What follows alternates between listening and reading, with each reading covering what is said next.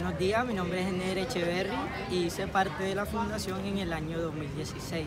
Mi propósito en la fundación fue ejercer más que todo la comunicación, la interacción entre las demás personas que a través de la fundación, cuando, eh, cuando entré a la fundación no adquiría esos conocimientos.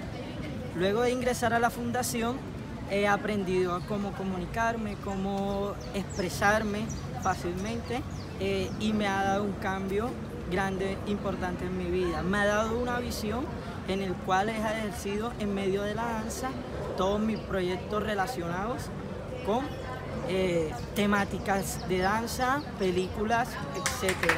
He estado en cortometrajes, eh, en videoclip también he estado, internacionales y nacionales, en el cual he ejercido más potencial en mí.